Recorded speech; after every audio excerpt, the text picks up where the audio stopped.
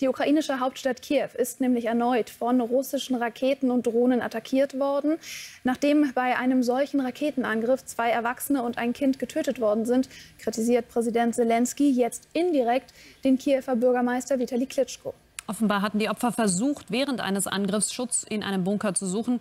Der sei aber wohl verschlossen gewesen. Zelensky forderte die Kiewer Behörden nun auf, eine solche Situation nie wieder zuzulassen.